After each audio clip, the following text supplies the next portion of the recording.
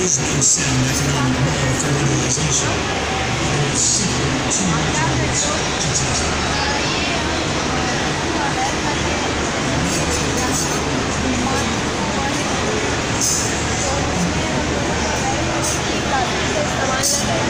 Cloth bag का इस्तेमाल करें और हमें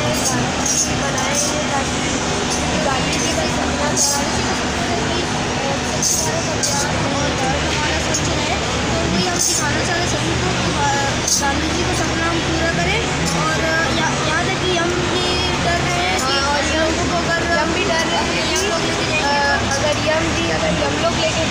लोगों को तो कहीं वो यम लोग में भी पूरा प्लास्टिक ना फैला दें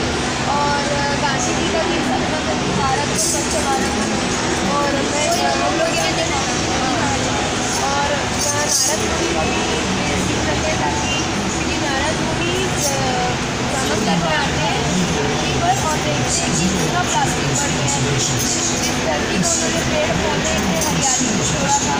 पूरी प्लास्टिक से दब चुकी है तो ये सब हम लोगों को अवेयर करें